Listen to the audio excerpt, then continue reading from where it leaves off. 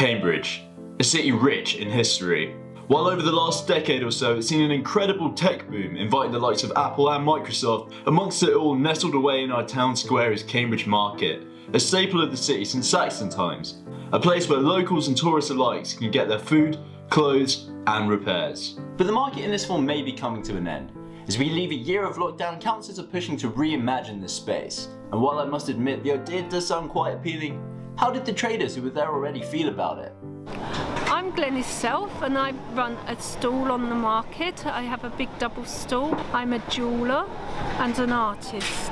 Been here for 22 years and my customer base is still with me from all those years ago. I'm uh, Leigh Humphreys, I'm the owner of the Cambridge Fishmonger took it over from my uncle. In total, it's probably been within the family for about 40 years. I'm Phil Graves and this is uh, Peter Graves Florist. Uh, we've been here, uh, well, before my time. Uh, we've been on the market for 63 years, market still six days a week. In 2019, Cambridge Council began exploring ideas to transition the square into a hybrid trade event space by replacing the permanent stalls with demountable ones that would come down at night. Two years on and these plans show no sign of stopping when I first saw it, I remember when we were at school doing technical drawing, we had a, one of our projects was to do, make a delta wing, and then we we uh, we built them out of balsa wood. We most of the, the delta wings looked like the top of the stall.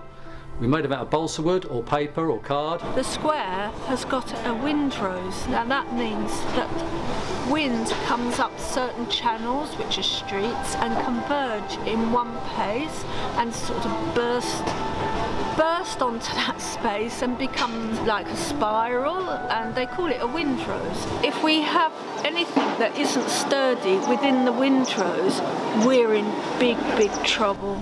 They are proposing to turn the market into a flexible space, which is appealing, but the logistics of it are a nightmare for the businesses on the market like it's all well and good me saying that I can build a house in 12 months time but it's not until you finally start pulling stuff apart and actually getting stuff put back that you know the time scale until the uh, market officers are, are, putting these up and taking them down you're not really going to know a time scale to be honest I, I don't think I could work with the proposed changes as they are. In early 2020, stakeholder meetings took place inviting, amongst others, Cambridge market traders whose views were to be taken into account. So why was there a disconnect between the market plans and the traders' needs? I mean, I've done research on urban redevelopment and urban regeneration across other parts of the UK, even other parts of the world. That's just that's just normal. Um, I mean, consulting is very difficult because you have a huge diversity of people to speak to. Um, so councils are not generally that good at doing that. My name is Sara González and I am associate professor at the School of Geography, University of Leeds, and I've been doing research on traditional retail markets for about maybe 10 years or so. Generally, councils, you have to understand, you probably do already, that councils are under a huge amount of financial pressure. They have to try to generate more income from wherever they can. Consulting and getting a lot of very diverse opinions that might go against the idea, it's um, you know, that might delay their plans. On the surface, it appeared that there had been constant communication between stallholders and the council. Head of the council's environmental service, Joel Carre, told the scrutiny committee that the concept design was the result of two years of work with significant input from stakeholders. Well, Councillor Rosy Moore said that maintaining a seven day a week market was the heart of the project.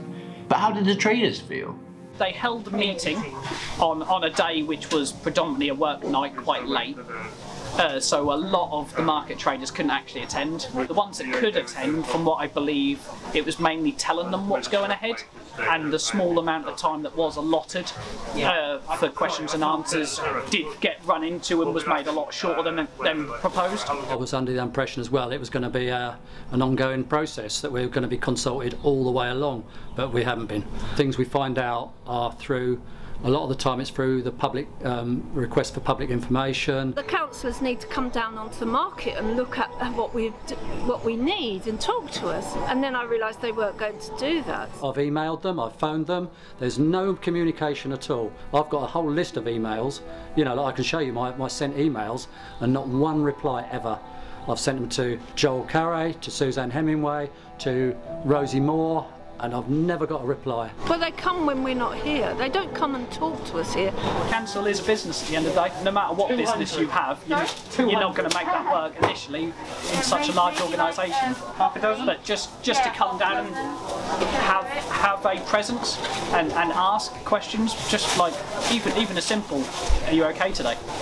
Like it's just a simple question, isn't it? The, the, the market should be returning to normal on the 12th of uh, uh, April. Keep asking, where's the plan? Where's the plan? I need to stock up. I need, you know, I need to get my staff back. There's no consultation at all. If I run my business like they run their council, then I, I would have been gone long time ago. In a redevelopment, often maybe this is not intended, but some market traders can, can just lose their businesses. And I don't know exactly details of this particular redevelopment, but it very rarely goes smoothly. The question is, who is this redevelopment for? What is it for? Who's going to benefit from it? A report on stakeholder feedback revealed that stores may need to be taken down at midday the day prior to events to accommodate them. Along with the hints of festivals like the Big Weekend and guest markets during peak times, traders were concerned that they weren't being fully considered. They want to put on lots of events down here, which is a really good idea, but the trouble is that there's a fully functioning market here. They want to put events on, like the big weekend, when you're drawing crowds of 10, 20,000 people probably over the weekend, you ain't going to fit that on the market square anyway. I think it would be the little weekend, don't you?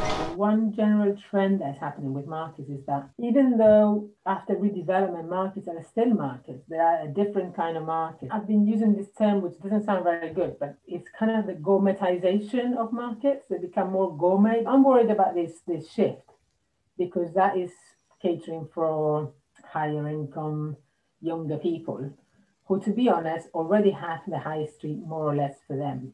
So we're, we're leaving behind the more marginalized groups that, that do actually need, you know, affordable food. We all, we all need food.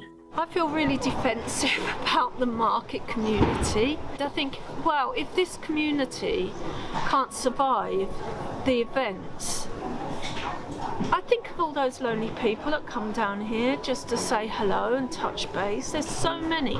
The Office of National Statistics published findings that in the month following the initial lockdown start last year, 30.9% had said that their well-being had been affected through feeling lonely in the past week.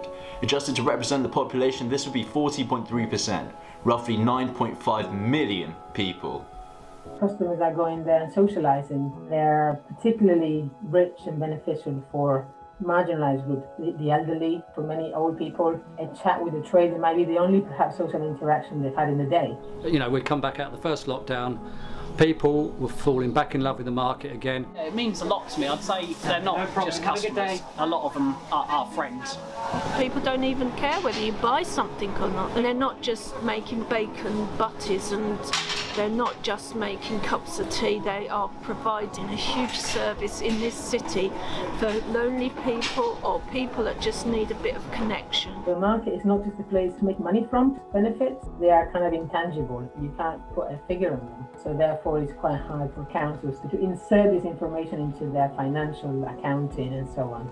It's somewhere where they can say, this is our Cambridge. I think that sense of belonging is in our identity. It's, it's what makes us who we are. We come from somewhere. we belong to somewhere, you know? January of this year saw internet sales rise to roughly 36% of all retail in the UK, and with almost 90% of UK shoppers using Amazon, what would happen to Cambridge Market and other traditional markets like it? Were these changes inevitable? Not at all.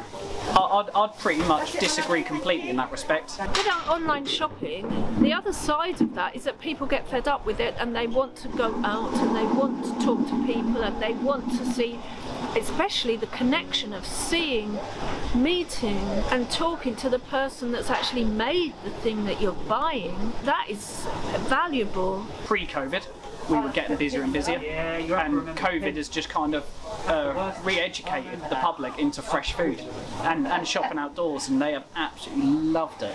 Not not just for the quality and the social side of it, but just being outdoors and shopping rather than being cramped in a supermarket and told that you have to stand here, you have to stand there, you have to queue this way, please go to the self checkout. Well, no, you don't go to self checkout. You see someone, you talk to them, you, you get you get advice there and then. One issue that always comes up with redevelopment is that if you sort of oppose redevelopment, you are then pictured as being against change. Just because you don't want a particular redevelopment, that doesn't mean you're not you know in favor of change. I agree that Cambridge Market needs to change, like not not disappear, not not change drastically, not not like pretty much knock down a historic building to put up some cineplex. What it needs to do is it needs to move forward to the 21st century, but keep its characteristics. You can look forward uh, and see its positivity in in what can happen or what can be there. Yeah, with just a bit of a tidy up, that's all it needs. Some people might think, oh, it's just it's just a shop, isn't it? So why should we worry so much about it? Um, but I see more of a public space, you know, where if you think about British city centres, they're becoming more, they're very commercialised. And I see markets almost as one of the few places where you can still, people can still hang around and, in, and spend hours there without necessarily paying a lot of money. So I do still think they're worth supporting for that reason. What does the store and the market in general mean to you? Uh, it's not just my livelihood, what people think. Right, especially during lockdown, it's probably kept me quite sane. I mean, to me, it's, it's, it's been my whole life. It's been my way of life since, uh, well, uh, it's the only job I've ever done since left school at, well, 15. we are in great danger of losing this community which actually thrives because of the business continuity if there wasn't a market here, we, there, there, wouldn't be a, a, community. There is a sense of camaraderie. We're all in the same position now. We're speaking to each other more, mainly because we're concerned about the future. I guess a lot of it. It's a community within a community on the market. Community comes round. Lots of diverse stalls. People that people have known all their lives. They're selling pears and they're selling apples. But what's going on while they're selling the pears and the apples is the stories. How is your granny? How are the children? How are your grandchildren? Look at your grandchildren. Look how she always puts her foot outside the outside her little buggy like that. Always, you know, it's little things like that. That's what makes community. I'd love to stay down the market, but please let me stay down the market. Don't make it. Don't make me leave. Regardless of position, it's hard to deny that traders have felt left out. Cambridge's Market Square is only one of many traditional markets that have got a tough time ahead of them, but that doesn't mean that they'll go without a fight one of these consultant developers sitting next to me and I said very low under my voice, I said, over my dead body. And he was like, ah. But anyway, I mean, I don't know if you want to put that in, maybe not.